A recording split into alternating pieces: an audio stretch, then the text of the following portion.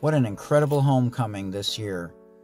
2022 has been a great year. We are back to normal, playing basketball homecoming at UCSD and their D1 facility. The crowd was amazing. The game was great. Both teams played unbelievable. The referees were great.